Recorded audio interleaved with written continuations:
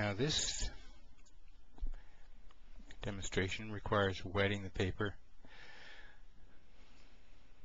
right below the foam and a mixture of cobalt blue and burnt sienna to get this gray. I want a little more blue next to the to the wettest part of the sand. That's going to reflect more sky because water's a little deeper just along there. And each brush load gets a bit drier. It's a one inch flat synthetic. All my brushes are pretty much synthetic now. They have a lot, a lot better spring than the old Sables that I used to use, and I sure like their uh, the way they snap back, and they hold plenty. Each brush load here is getting drier, more paint, less water.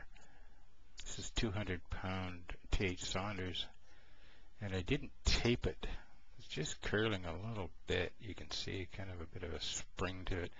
I cleaned the brush out now and I'm just mopping up a bit of um, just dragging it around. I don't want the sand to look too sterile like pavement. I want to have a little bit of a swing to it.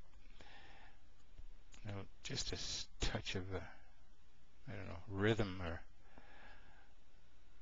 pattern. I want it darker at the bottom because the sky over, well, first of all, the sand dries out too as you get closer. There's not as much water on it, but the sky overhead is is going to be dark,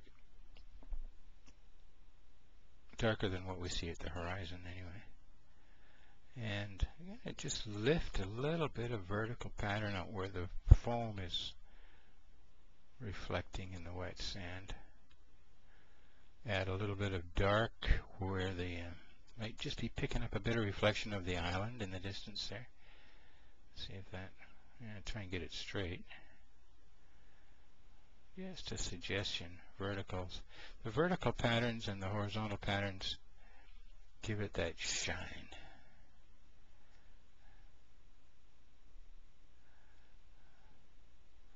Suppose I could have reflected a bit of that orange sky in there. Well, I have to do that next time.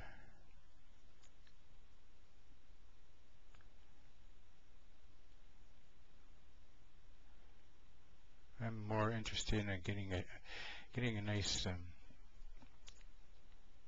pattern than perfect match to color.